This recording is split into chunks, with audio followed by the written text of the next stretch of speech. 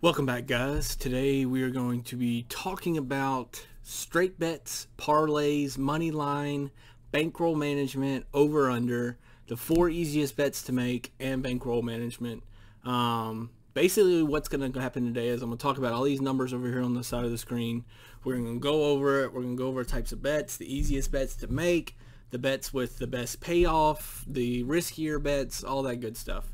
So when you walk into a casino to bet college football, you're going to come up and see something like this. This is Horseshoe Tunica last year. Okay. It's going to have, it's going to look like this. It's going to be front and back. It's going to have a bunch of numbers, bunch of teams, bunch of names, all kinds of shit. It can get very confusing. It got very confusing for me the first time I went. First time I went, I was like, I feel confident. I got this shit. I picked up that sheet and I was like, what the hell is all this shit? you know, I sat in line. I got there about 30 minutes before the games kicked off. By the time I got to the counter, it was like five minutes before the games kicked off, and like, go ahead. And I'm like, uh, Oklahoma minus six, and they were like, dude, this is gonna take forever if you do it like that. Give me the number, go with it, spread, money line, over under. Let's roll. Let's make this quick. So this is gonna make it quick for you. It's gonna make it simple for you. If you get nervous, don't feel bad. I get nervous. So over here on the right side of my screen, I just gave an example of Oregon versus Utah, which was the Pac-12 championship, I believe. Um, as you can see, Oregon has a 103 next to it. Utah has a 104 next to it. Next to Oregon is the line column. It's 46 and a half. And next to Utah is minus six. Then you have the money line plus 200 for Oregon, minus 240 for Utah.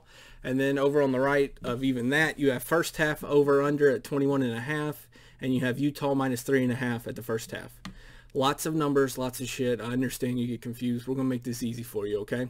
So the 103 and 104 is just the number associated to the team. That way they don't have to type out the whole team name. They can just put 103, enter, it pulls up Oregon, and you can go from there.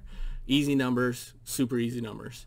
The first number in line next to Oregon is 46 and a half. So that's going to be the over-under for the game. If you think the combined score of the two teams is going to be under that, you can bet 46 and a half under. So it doesn't matter who wins. It doesn't matter if they score two points or 45 points. If you bet the under and it's under 46 and a half, you get paid. Now, if you want to, if you think they're going to score more than that, you can bet the over. Again, it doesn't matter who wins. It doesn't matter what the scores are, as long as they score combined more than 46 and a half. They put the hook on it as a half, so you can't tie. Um, you're either going to win or lose. So Utah has a minus six next to it. Minus six is the point spread. So if you think Utah's going to win by more than six, you would take Utah minus six. If you think Oregon is going to either win or stay close enough to Utah within six points, you would take Oregon plus six. Uh, normally that pay is 90% since it's a straight bet. Most casinos are a little different. Uh, but yeah, so some will say, if you look down the next little line, it says some will say minus six, minus one and 105. All that minus 105 means is you have to spend $105 on a bet to win $100 back. The same with plus 6 minus 115. You have to bet 115 to win a $100 bet. It's pretty simple. Don't really have to pay much attention to that just because you can bet $32. You can bet $33.50. It's going to say on the ticket what your payout is for that bet. So you really don't have to worry too much about that. Now the money line. Money line is just no points, no bullshit. Who's going to win the game? That's all it is.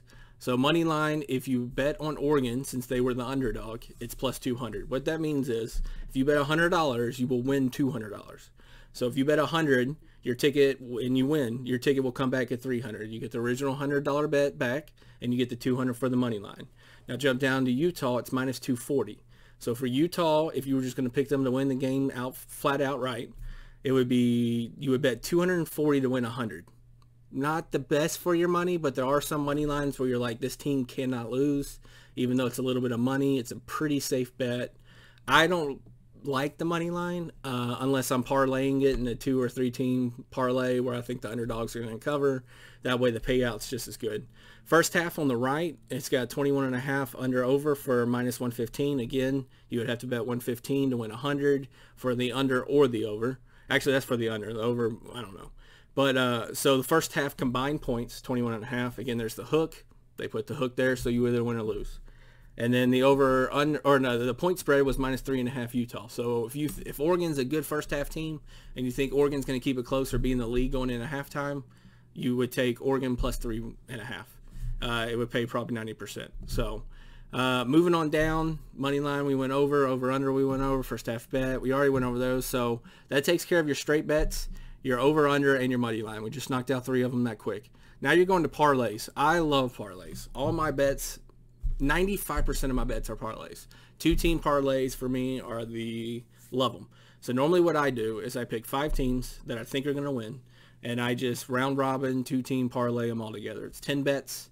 Of course, for a parlay, so you do a two team parlay. If one team wins and one team loses, you lose the bet. So what you need is both teams to win. Now the payoff is two and 2.6 to one. So if you bet a 100 on a two game parlay and it, both teams win, you win 260 for the 100.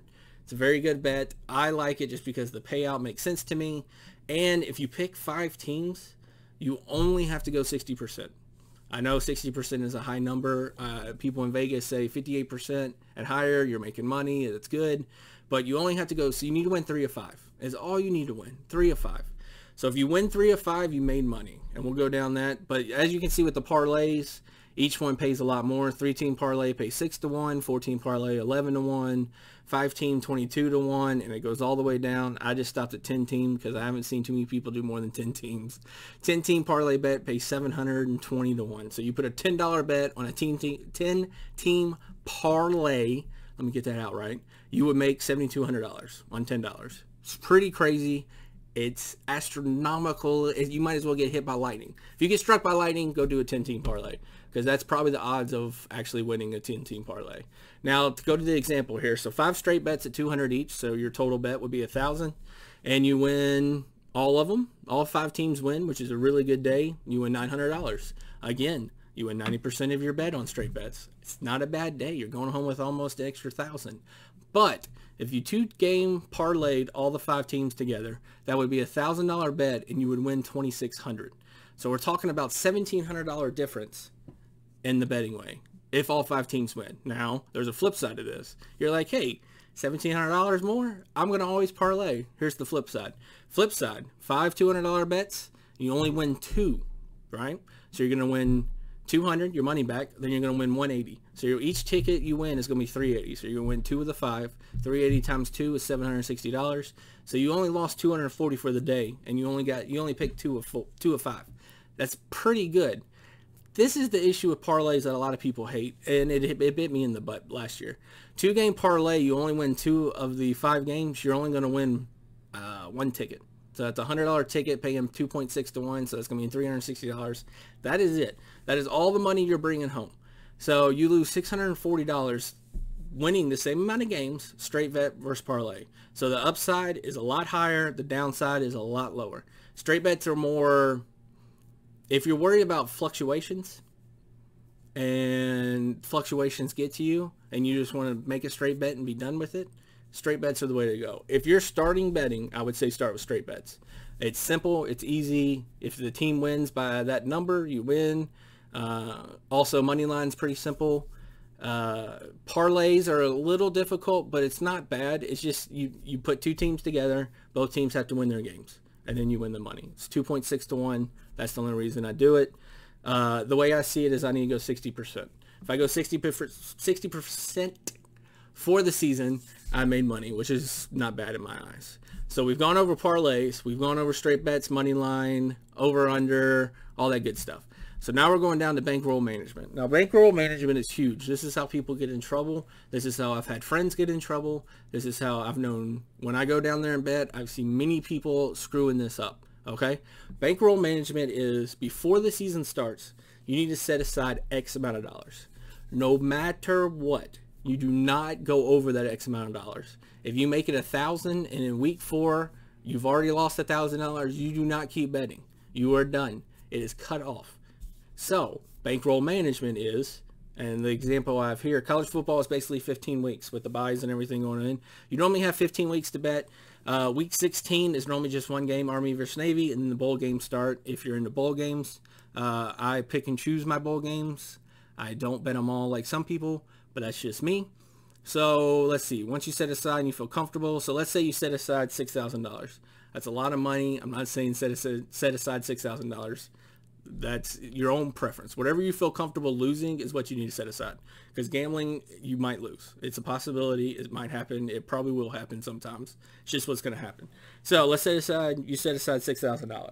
Well, there's 15 weeks. So that means you can bet 400 a week every week. And you can bet every single week of the 15 week season. So you can bet 400 each week and go all the way down. Even if you lose the first 14 weeks, you still have $400 for week 15 to bet. I am slightly different. I my bankroll that I set aside is good for about five or six weeks. Mm, yeah, I'll say five weeks. So if I lose the first five weeks, I'm done. I'm not betting the rest of the season. I've lost all the money I can. I am I'm out. So it is very important to stay in your bankroll. Do not exceed your bankroll. Do not bet more because you had a good week. Do not bet less because you had a good week. The best way to bet is to bet the same amount each time. So you like this, you like team one, two, and three, bet the same amount on one, two, and three. If you only let one, if you only like one team one week, that's up to you. You can bet your whole week on that, or you can bet just the same amount, and that way you don't have to worry about it. And you can put that extra money to another week where you like four teams or five teams. So it's very important to keep bankroll management. That I can't say enough. Bankroll management is huge. It'll stop you from going in debt. It's going to stop you getting in trouble. It's going to stop you getting divorced. It's going to stop you drinking and driving. It's going to stop all these things because that shit happens. Okay? So episode two, we have gone over all the simple betting. Uh, there's prop bets. There's teasers. We're not going to get into that. Um, these are the bets if you're starting off you should make. I'm not telling you what to bet or how much to bet. That is up to you. Just don't get in trouble. Don't exceed your bankroll. Stay within your bankroll and you should have a good season. Um, hopefully you enjoyed this video. If you did, please subscribe and there'll be more to come. Uh, my next video, I'm going to start breaking down teams that I think are going to make the playoff. Each video is going to be a one-team breakdown. I'm going to look at season, returning starters, all that fun stuff. Um, so hopefully you enjoyed this video. Subscribe, like, and the other, the next video should be coming out either tomorrow or two days from now. So take care and thank you for watching.